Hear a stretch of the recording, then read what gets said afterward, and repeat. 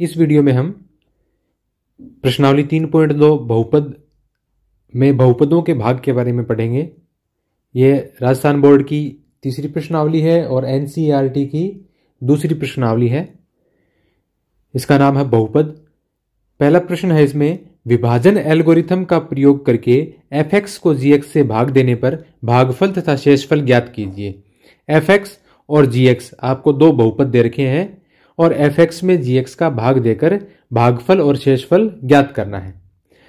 आपको लिखने कैसे हैं भागफल और शेषफल? ये हमेशा ध्यान रखना है कि एक्स की सबसे बड़ी घात सबसे पहले, फिर उससे छोटी, फिर उससे छोटी, यानी घटते हुए क्रम में लिखनी है। जैसे इसमें देखो, यहाँ पर एक्स की घात कितनी है? तीन। यहाँ कितनी है? दो। यहाँ कितनी है? एक। यहाँ कितनी है? पाँच। ये मैं पेन का कलर चेंज कर लेता हूँ। ये देखिए। यानी गाते तीन हैं, फिर दो हैं, फिर एक है और फिर अचर पद है। सही क्रम में है, इसको ऐसा कैसा लिख दो आप।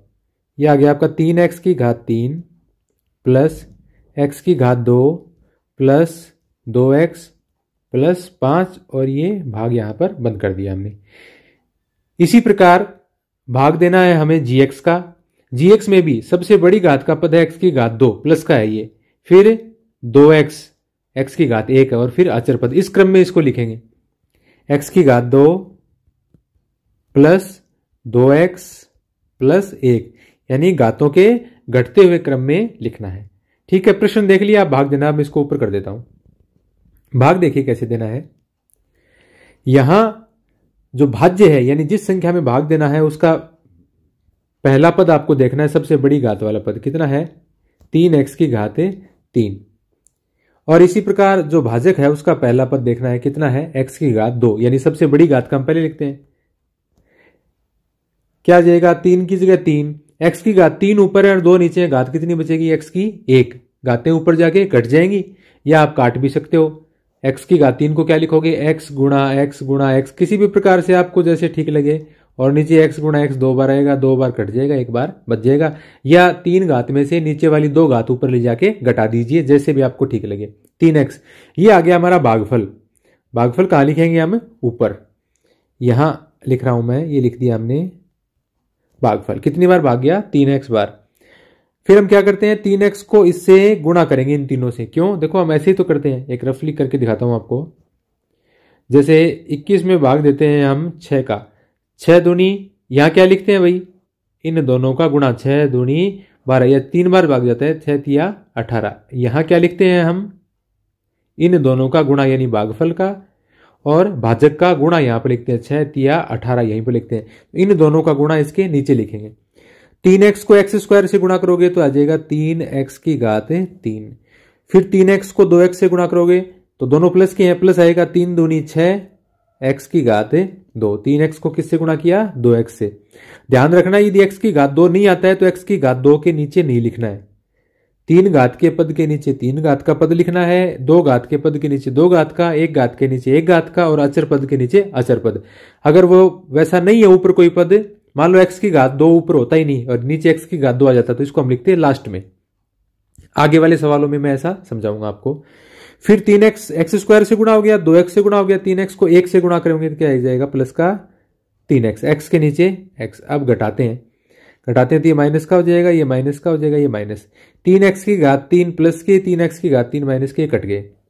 माइनस छह एक्स स्क्वायर और प्लस एक्स स्क्वायर कितने बचेंगे? माइनस के पाँच एक्स स्क्वायर माइनस तीन एक्स और प्लस दो एक्स कितना बचा? माइनस का एक्स और आगे बच गया प्लस का पाँच। फिर इसी प्रकार से यहाँ सबसे बड़ी घात का पद क्या है? माइनस पाँच एक्स की घात दो बटे, हमें यहाँ यही आएगा हमेशा, एक्स की घात दो। यहाँ नीचे बटे में तो यही रहना है भाजक का, एक्स की घात दो। एक्स की घात दो से एक्स की घात दो कट गया, क्या आ गया? माइनस पाँच। यहाँ मैंने रफ काम कर रखा है ये। माइनस पाँच। कितनी बार भाग गया? माइनस पाँच बार। यहाँ लिख दिया मैंने माइनस पाँच। माइनस पाँच को क्या करना है अब? इन तीनों से गुणा करना है। माइनस पाँच को एक्स स्क्वायर से गुणा किया क्या आ गया? माइनस पाँच एक्स स्क्वायर। माइनस पाँच को प्लस दो एक्स से गुणा करोगे तो क्या आ जाएगा? माइनस पाँच दुनी दस एक्स एक्स के नीचे एक्स। और माइनस पाँच को प्लस एक से गुणा किया, माइनस पाँच एकम पाँच। क्या आ जाएगा ये? ये प्लस का हो जाएगा। ये भी प्लस का हो जाएगा। ये भी किसका हो जाएगा? प्लस का। पाँच एक्स स्क्वायर प्लस के, पाँच एक्स स्क्वायर माइनस के। प्लस दस एक्स माइनस एक्स। दस एक्स में से एक एक्स घटाया कितना आ गया? No X. और पाँच प्लस के, ये भी पाँच प्लस के पाँच और पाँच कितने हो गए? दस एक्स उत्तर लिख देंगे आप, ये तो हमारा क्या आ गया? भागफल, और ये हमारा क्या आ गया? शेषफल। तो इस प्रकार से इनका हम भाग देते हैं। अब एक और प्रश्न करवाता हूँ, जिससे आप समझ जाएँगे। बीच बीच में कई बार जब आपको कुछ और स्टेप ध्यान में रखनी होती है तो उनके लिए। जैसे इसका दूसरा भाग है एफ़ एक्स बराबर एक्स की घात तीन माइनस तीन एक्स की घात दो प्लस पाँच एक्स माइनस तीन, और जी एक्स का मान है एक्स स्क्वायर माइनस दो। आप अपनी पुस्तक में भी देख सकते हैं। ये थोड़ा सा ठीक लिख देता हूँ मैं। दो।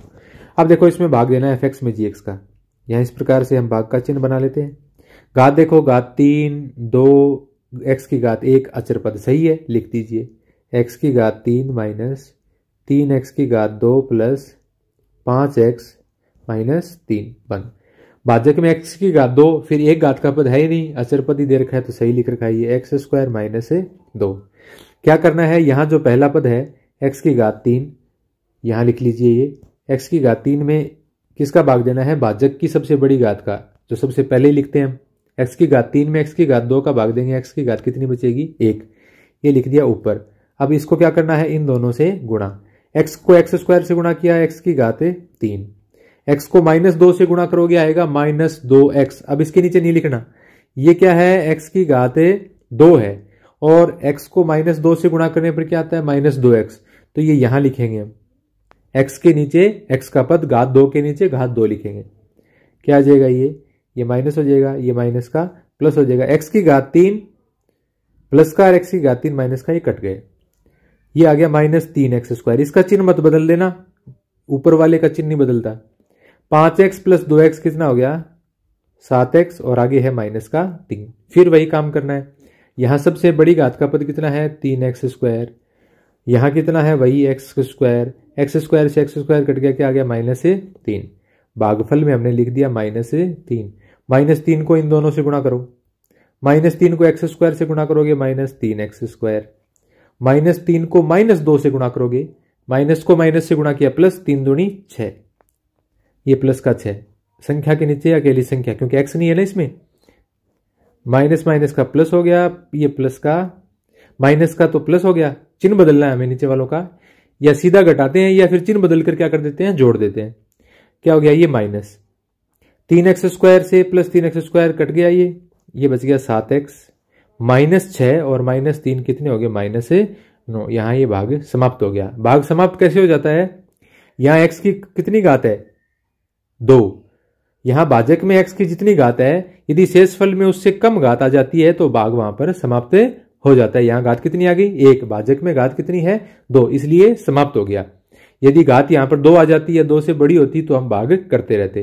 तो जैसे ही शेष फल में भाजक यानी भाग देने वाली संख्या से घात कम आती है भाग समाप्त हो जाता है। ये आ गया हमारा शेष फल और ये आ गया हमारा भागफल तो इस प्रकार से आप इन सवालों को हल कर सकते हैं। अगले वीडियो में मैं आपको कुछ और प्रश्नों का हल करके बताऊँगा।